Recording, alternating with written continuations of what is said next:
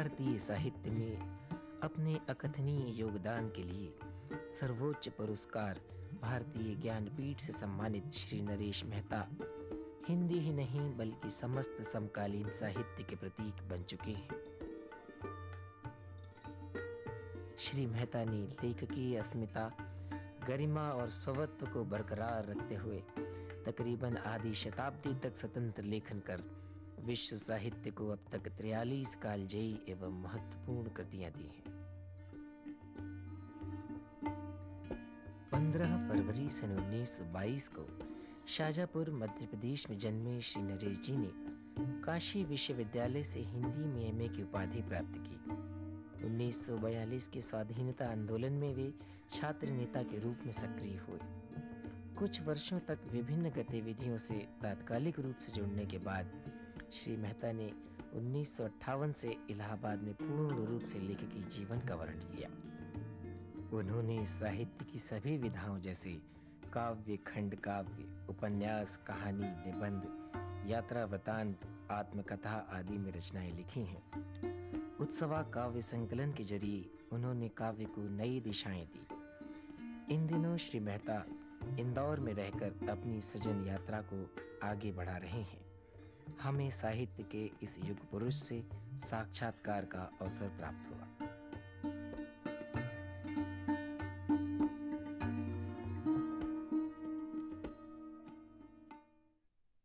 विश्व के जाने माने साहित्यकार श्री नरेश मेहता आज हमारे बीच उपस्थित हैं। मैं श्री मेहता का स्वागत करता हूँ। मेहता जी, हम ये जानना चाहेंगे कि कविता क्या है? उसे आप कैसे परिभाषित करेंगे?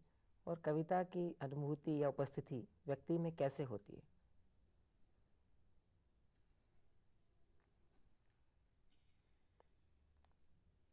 कविता की जहाँ तक मौजूदगी का सवाल है, उसके लिए कहीं दूर जाने की ज़रूरत नहीं होती।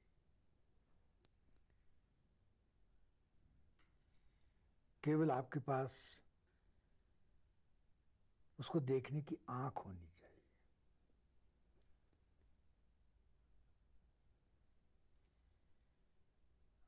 मेरे घर के पास एक लंबा सा पेड़ है। और जब हवा चलती है तो हवा में उस पेड़ का हिलना मुझे एक पूरे नाटक का बोध कराता है। बल्कि मैं कह सकता हूँ कि मुझे पूरे डायलॉग तक सुनने को मिलते हैं जैसे। और लगता है कि जैसे हर पत्ती उस हवा को कैसे लेती है और अपने हिलने के द्वारा उसको संप्रेषित करती है।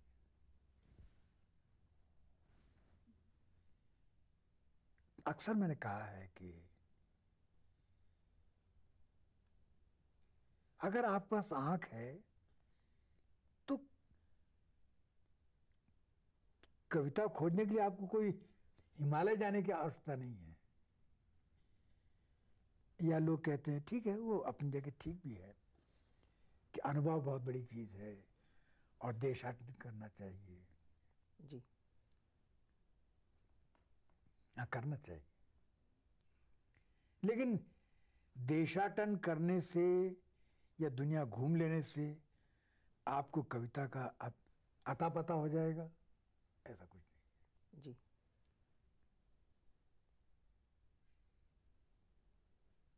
कविता तो सिर्फ़ अपने से बाहर आपने अगर एक कदम भी निकाला है तो आपको खड़ी मिल जाएगी। तो ये आँख चाहिए। अगर आँख है तो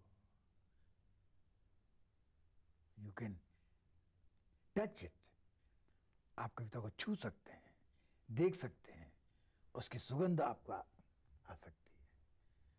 और नहीं तो मुँह दो वहाँ कतो को नहीं। क्या बात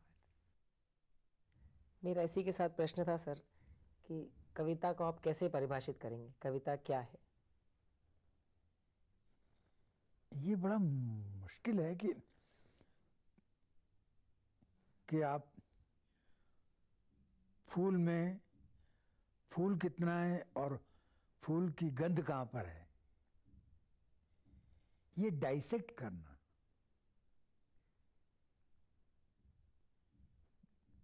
तो बहुत मुश्किल है।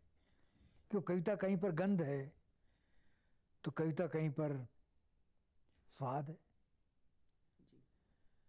और कविता कहीं पर रूप है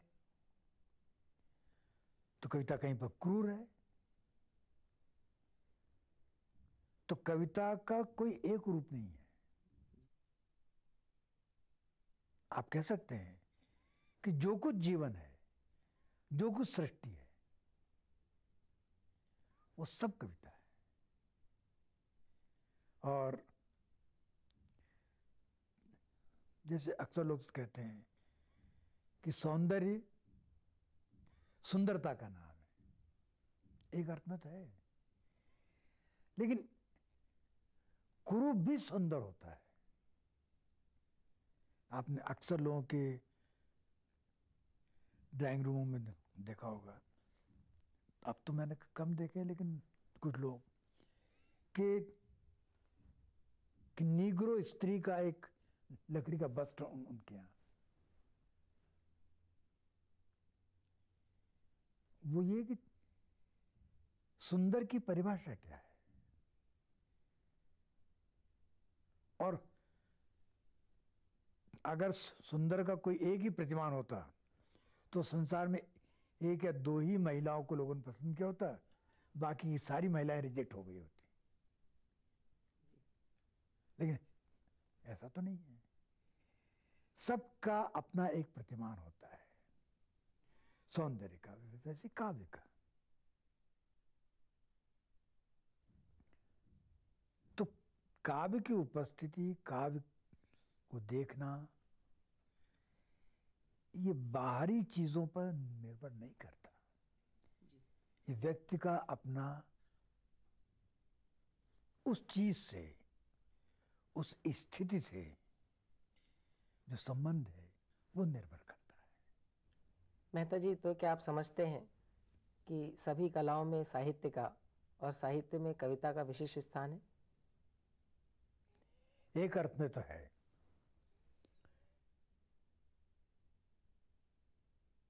दूसरी कलाएँ देश काल में बंधी हुई है। किस तरह से? जैसे कि संगीत। संगीत वैसे तो कलाओं में एकमात्र कला ऐसी है। कि जो तत्काल प्रभाव डालती है। जी।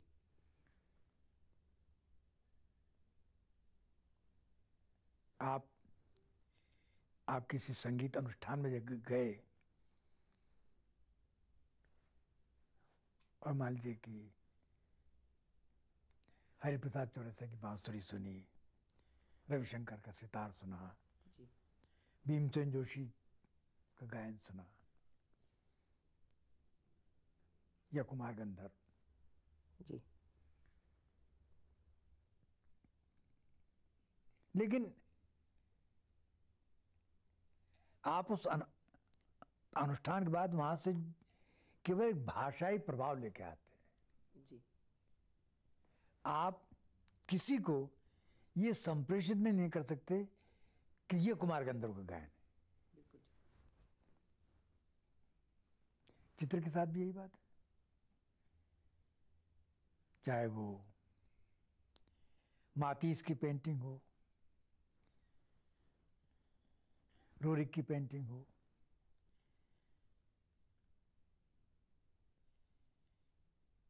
आपने देखा, प्रदर्शनी में देखा, उनके आर्ट गैलरी में देखा। लेकिन आप किसी को ये नहीं कह सकते, ये मातीस की पेंटिंग लेकिन साहित्य देश काल में बंधा हुआ नहीं होता। शेक्सपियर की रचना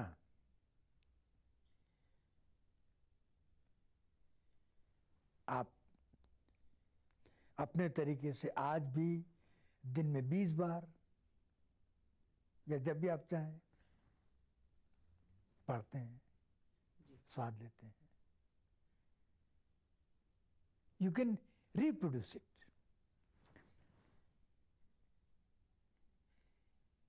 लेकिन एक फिर भी कठिनाई है कि साहित्य के साथ में जो सबसे बड़ी कठिनाई है भाषा की। जी।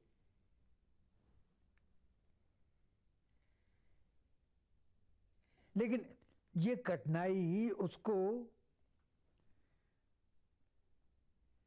देश काल में बिखरने नहीं देती। वो किस तरह से? संगीत है। वो एक तरह से ऐसे जैसे कगारहीन कोई नदी है जो कगार नहीं है वो बिखर जाती फैल जाती। जहाँ ये सीमा है साहित्य की भाषा की वहाँ वो उसकी शक्ति भी है। कि वो जीवित है। अगर मान लीजिए कालिदास की अभिज्ञान शाकुंतल रचना, ये भाषा में निबद्ध न होती तो क्या आज वो यथावत रूप में होती? नहीं होती। तो अच्छा कविता चूँकि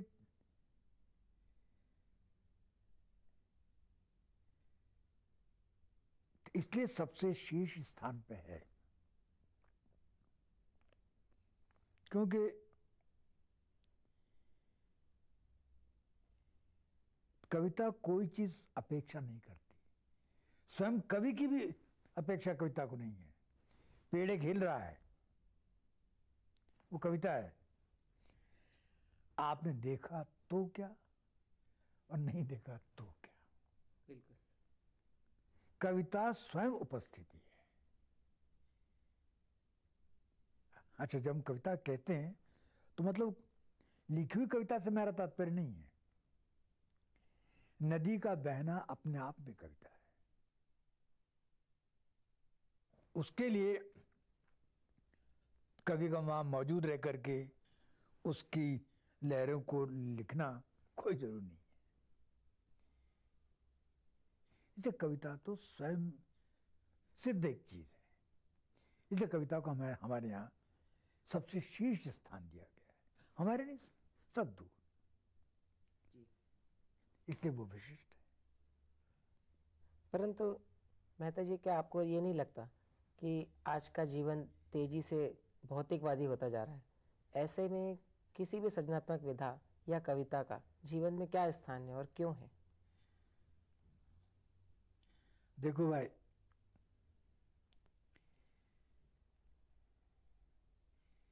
ये ठीक है जीवन बदल रहा है बहुत बदल रहा है। और भगवान करे इसे भी ज़्यादा बदल जाए। मेरी बला से।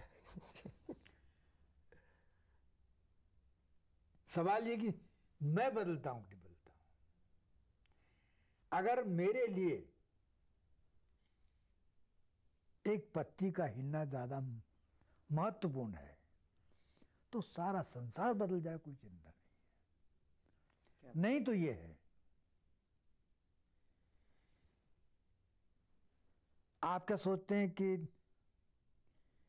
जब इतनी तेज़ी से नहीं था तो क्या सब लोग कालिदास को पढ़ते थे? ऐसा नहीं है। कालिदास अगर आज से 500 साल पहले जितना प्रासंगिक था वो आगे भी रहेगा। जी। और परिवर्तन तो एक अनिवार्य प्रक्रिया है। जी। होगा। इसको रोका नहीं जा सकता। इस पर रोना भी मूर्खता है। बल्कि प्रार्थना करना चाहिए कि और तेज़ी से घटित मगर ये मैं जानता हूँ कि मनुष्य अगर है तो साथ ही सारी सृजनात्मकता भी रहेगी। इसलिए मुझे इस परिवर्तन से कोई डर नहीं लगता। हमारे युवा दर्शकों को बताइए कि रचना प्रक्रिया की शुरुआत किस तरह से होती है? या यदि कोई युवा स्वयं रचनाकार बनना चाहे तो उसे क्या करना चाहिए? आप किस तरीके से रचना लिखते हैं?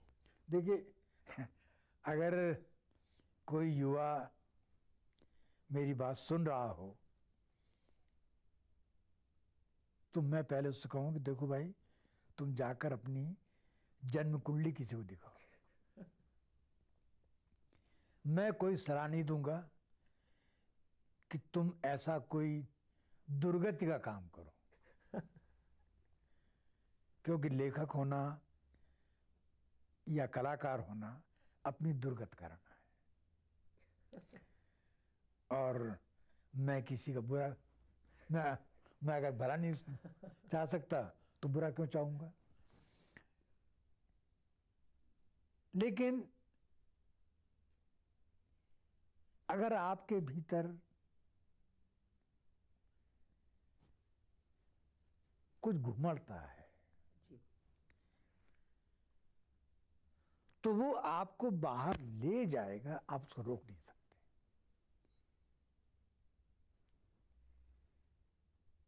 उसका प्रकार भिन्न हो सकता है। इसे पहली तो वही जो बात मैंने शुरू में कही थी कि अगर आपके पास आँख है जी। तो गिलहरी का खुजलाना चीटियों का कतार बाँध के चलना पत्ती का हिलना और मनुष्य की आँख में आँसू को देखना आपको बाध्य करेगा। आँख है ही नहीं आपके पास। तो आप भी एक प्रकार से वस्तु ही हैं। तो वस्तु से क्या बात की है? वो फ्रिज है आप आदमी है। आप आदमी नामक एक यंत्र है। जी। तो यंत्र को तो कोई कला वला से कोई लेना देना नहीं। तो यांत्रिकता से क्या बात की है बिल्कुल। लेकिन अगर मनुष्य है तो उसमें से बिना रचे मनुष्य रह नहीं सकता। और रचने का तात्पर्य दूसरे तक पहुँचना। स्वयं दूसरा हो जाना ही रचना बनना होता है। नई कविता के विषय में अक्सर युवा लोग ये कहते हैं कि उन्हें समझ में नहीं आता पल्ले नहीं पड़ती। ऐसा क्यों होता है कि कविता इतनी जटिल क्यों लिखी जाती है कि वो सभी को समझ में ना आए? भाई सामान्य तो, तो लोग ऐसा सोचते हैं जो ठीक भी है कुछ तो।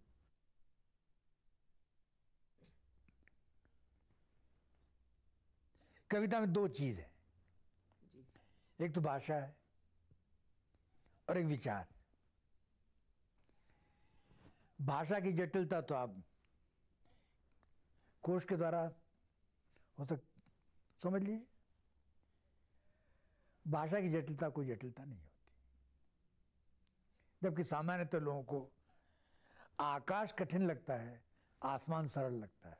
तो मैं इसके लिए क्या करूँ भाई? लेकिन भाषा की कठिनता से ज़्यादा कठिन है विचार की कठिनता। और सामान्य आदमी और किसी चीज़ से नहीं घबराता, विचार से घबराता है। क्योंकि विचार उसके मन में उसका अपना ही कुरूपन करता है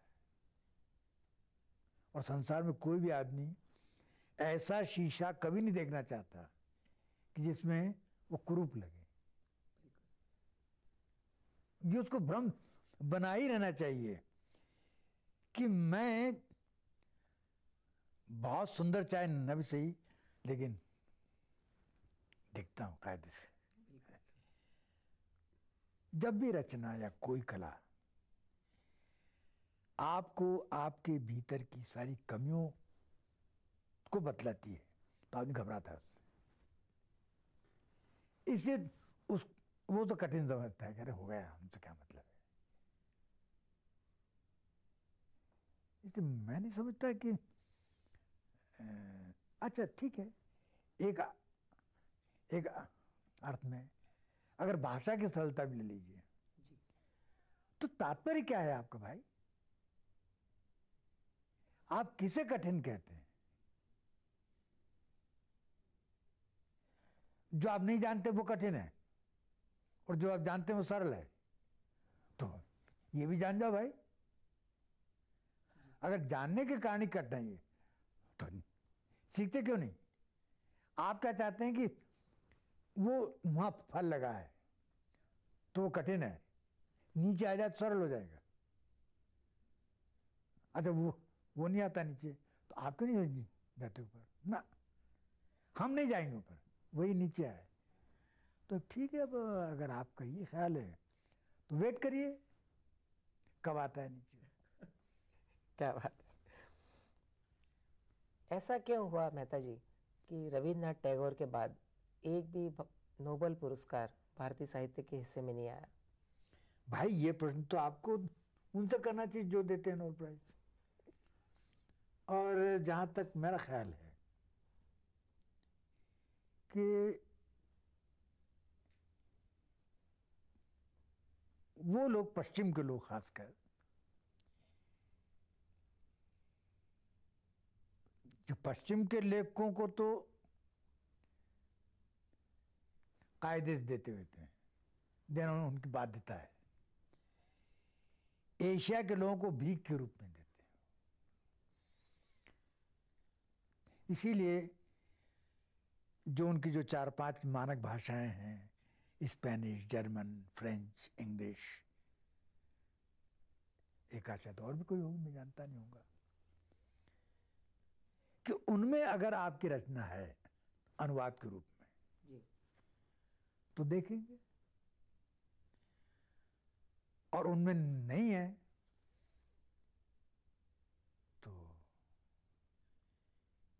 इब्न मरियम हुआ करे कोई? हम नहीं मानते। तो भाई, कोई तुलाई हुआ है कि हिमालय, पेरिस पहुँचे तो हिमालय को मान्यता मिलेगी? न नॉर्मल तेल होगा, न राधा नाचेगी। रविन्द्रनाथ ठाकुर भाग्यवान थे कि उनकी पद्मा नदी पेरिस पहुँच गई। तो मान्यता मिल गई। मगर ये सवाल आपको उनसे करना चाहिए, ज़्यादा अच्छा है। जी। मैं आपसे अनुरोध करूँगा कि हमारे युवा दर्शकों के लिए कोई अपनी रचनाएँ सुनाएँ।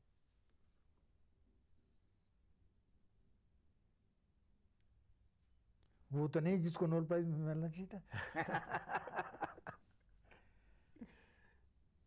मैं दो बहुत छोटी सी रचनाएँ सुना दूँ। स्वागत है। पहली में एक शब्द आता है निकष।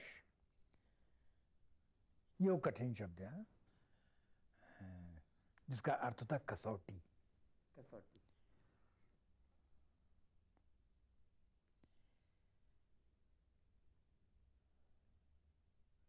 जब तुम मुझे अपमानित करते हो, जब तुम मुझे अपमानित करते हो, तब तुम मेरे निकष होते हो। जब तुम मुझे अपमानित करते हो, तब तुम मेरे निकष होते हो। प्रभु से प्रार्थना है, वह तुम्हें निकष ही रखे। वाह, क्या बात है। दूसरी छोटी कविता है। बंधु, मुझे क्षमा करना। बंधु, मुझे क्षमा करना। संभव है? आ न सकूँ आयोजन में। बंधु, मुझे क्षमा करना। संभव है? आ न सकूँ आयोजन में। क्योंकि आज शाम को एक फूल के विकसने की संभावना है। क्या बात है क्या बंधु मुझे क्षमा करना। संभव है आ न सकूँ आयोजन में क्योंकि एक फूल के विकसने की संभावना है शाम को। धन्यवाद मेहता जी आप हमारे बीच आए मैं आपका आभार व्यक्त करता हूँ।